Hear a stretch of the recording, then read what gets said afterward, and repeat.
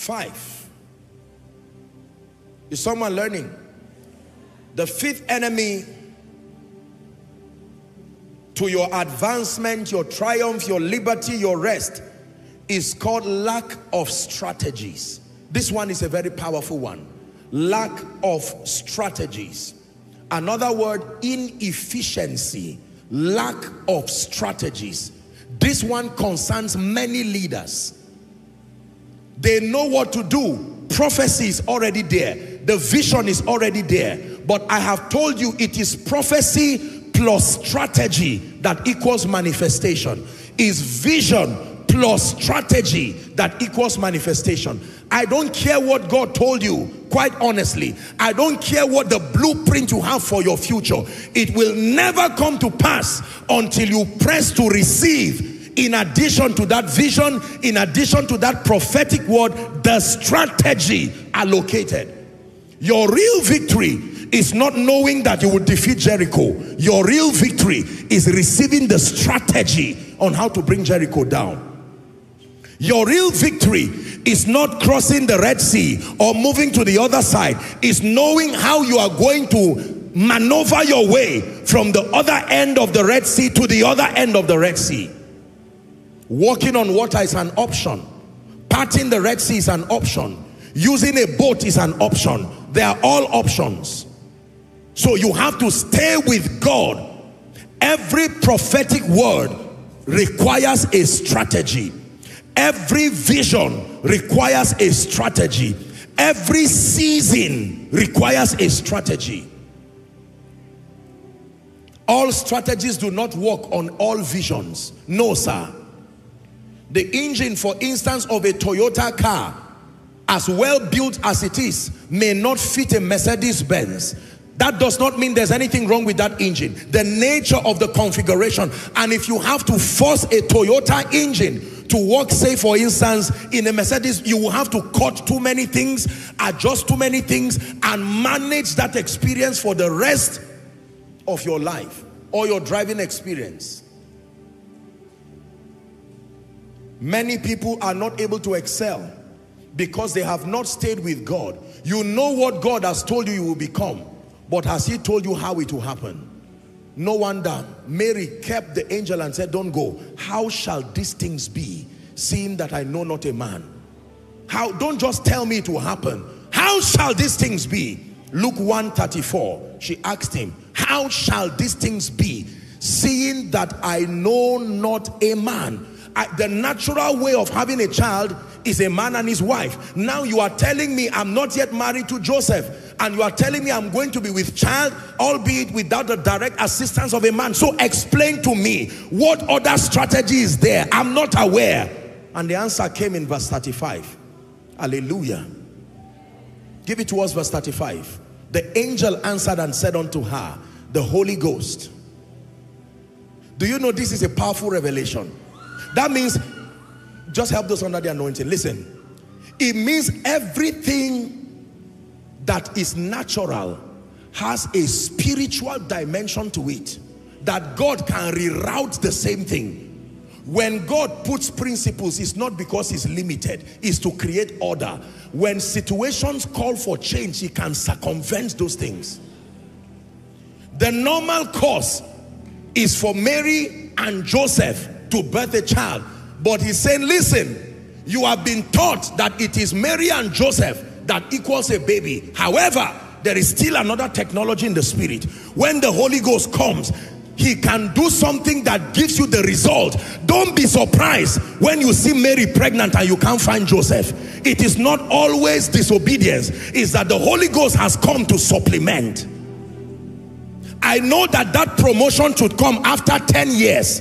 That is the principle. But don't be surprised when a 10-year-old harvest comes to a man in one day. It is not unusual. When the Holy Ghost comes, he can rewrite things. I know that the angel comes to stir the water once a year. If you miss that moment until next year, but not when Jesus comes. When he comes, he can redefine the seasons. It's true. This is where the deficiency of wisdom punishes a lot of people. Please listen to me. There are many things you are writing right now. What you need is not prophecy on it. What you need is the strategy. How many of you know that the oil in the house of the wife of the sons of the prophet, there was already capacity. Isn't it amazing that the things we look outside are already in our house?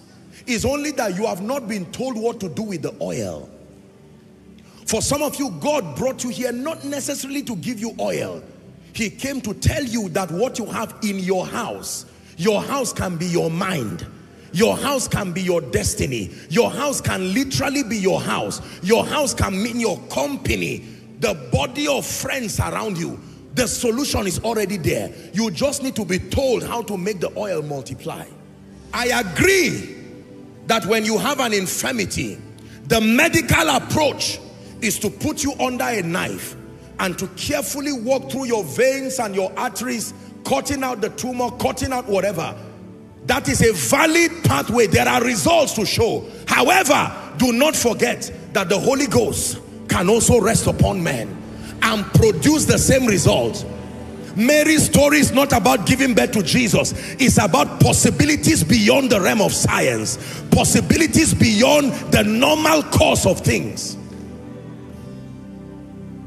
That means whilst you are seated trusting God for a miracle, it is true that you may need 10 million, 15 million for whatever, maybe kidney transplant or whatever. I agree. God gave the doctors the wisdom. However, when you see the Holy Ghost resting on people, make sure you cry that he will come upon you too. Because he can make that experience equal to a surgery. Only that this one does not need anesthesia, does not need time. You don't need to be under a knife. God for you.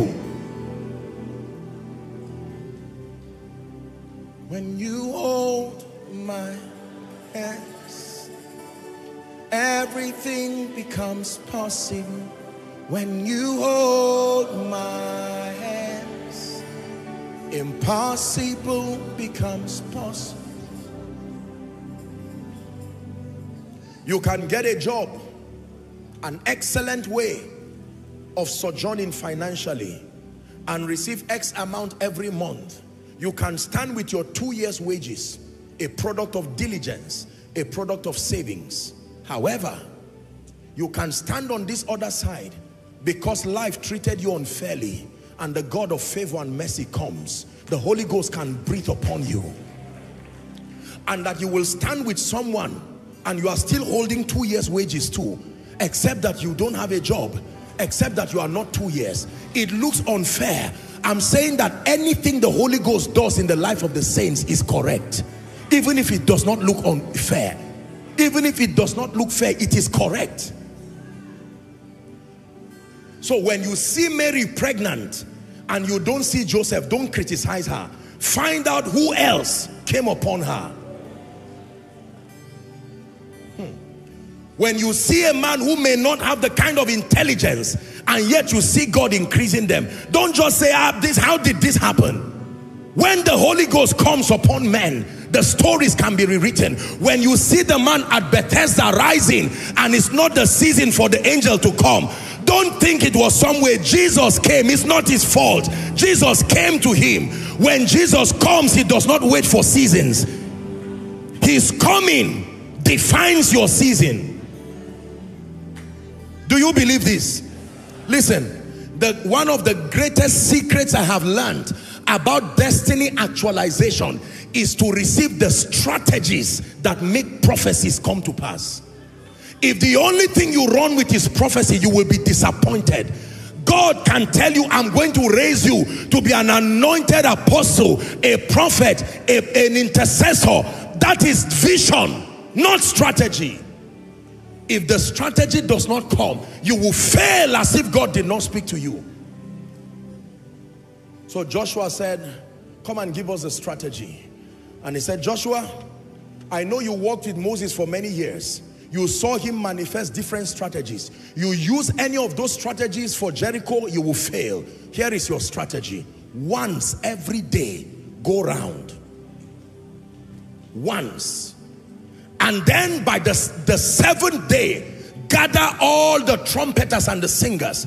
Go round seven times, and at the seventh time, let there be a shout, the healer, and the walls will crumble. Very pointless strategy. And yet, that was a strategy that brought Jericho down. Look at the strategy that today has brought the gospel to the nations. What is the strategy? Believing a report that Jesus is Savior, that Jesus is Lord, that Jesus is King, that He loved you enough to die for you. As, as supposedly frail as that strategy is, this is what has turned ordinary men to champions. It is that strategy that turned Paul, Saul to Paul. It is that strategy that turned weak men. Hallelujah. You are as powerful as the strategies that back you, not just the prophecy that backs you.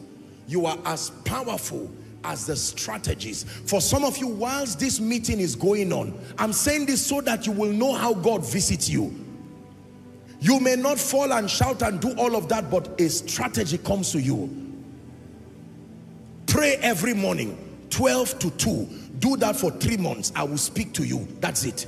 That is the strategy that will open the next phase of your ministry. It may not be applicable to everyone. It came to you as a rhema. You just do it. Are we together?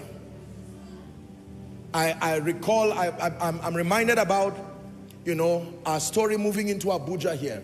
I've said it many times, but for the sake of those who have not heard, I remember I started praying and the Holy Spirit asked me to buy the map of Abuja, the map of Nigeria, the map of Africa, and the map of the globe.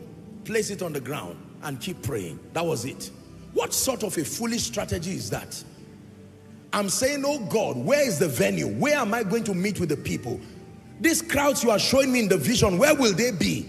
Who is going to pay the bills first and foremost? Strategy. For someone, your strategy will be that when a shout comes, shout. The strategy will be dance away your problems before God. And it may not make sense. You see, that's why the Bible says the natural man cannot understand the things of the spirit. It cannot profit. It doesn't make sense. It doesn't follow the path of logic, spiritual things. Someone says strategy. This is a major reason why many destinies are kept. They lack strategies. Ecclesiastes 10 and verse 10. 10 and verse 10. If the iron be blunt, he said, and he do not wet the edge, sharpen the edge, then must he put more strength, inefficiency. But wisdom is profitable in that it sustains the power to give you direction. Wisdom is profitable to direct. There is a way to do ministry such that you will win. There is a way to do ministry that you will be in pain and you will lose forever. There is a way to do business such that you become an indomitable winner.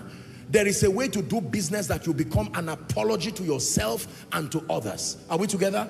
There is a way to raise children that you raise champions and giants. There is a way to raise children that cause you to go to your grave early. Have you obtained the strategy for your destiny? Lay your hands on your head in one minute and say, Father, reveal the strategy. The strategy for this prophetic word you have given me. Someone be serious. Reveal the strategy that you have allocated for the manifestation of your word in my life. You have said is a year of exceeding great rewards. I receive the strategy by the power of God. There is a strategy that sustains the anointing that God placed upon your life there is the strategy that sustains your relevance.